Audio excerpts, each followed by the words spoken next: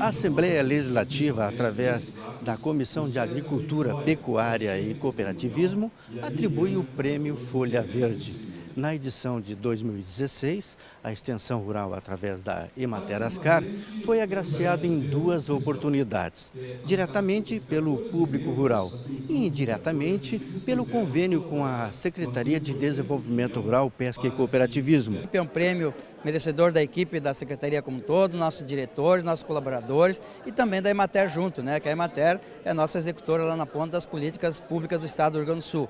Quando se fala em desenvolvimento agrário, a gente pensa em transformação. Então, tem que ser em equipe o trabalho e nossa Secretaria de Desenvolvimento Rural, Pesca e Cooperativismo, nós trabalhamos em cooperação. E isso sempre nos motiva mais receber esse prêmio.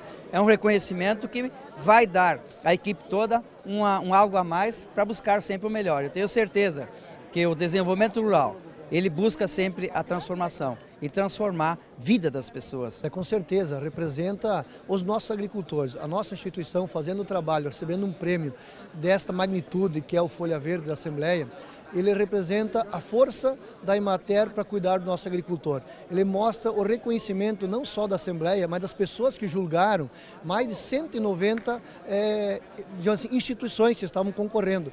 Nós ficarmos entre as 12 e a principal do público, eu tenho certeza que é nós batermos palmas para os nossos agricultores e para as pessoas que confiam em nós, os deputados, a, a comissão julgadora, os nossos prefeitos, vereadores, mas em especial quem mais confia em nós é o nosso agricultor. É por ele que nós recebemos esse prêmio e é por ele que nós demandamos o trabalho diário que nós temos de casa, vestimos o nosso jaleco da Imater e levamos tecnologia, informação, assistência social e renda ao nosso produtor.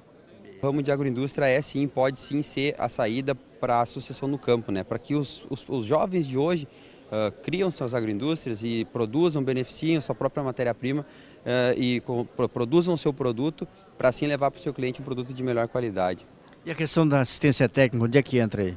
É, eu acho assim, a assistência técnica da matéria é muito importante, né? Porque na verdade, há 36 anos atrás, aí, quem acreditou na família foi a matéria. A matéria veio lá com e foi lá e disse para nós que era possível, acreditou e ensinou nós a trabalhar, né? Fazer uma diversificação.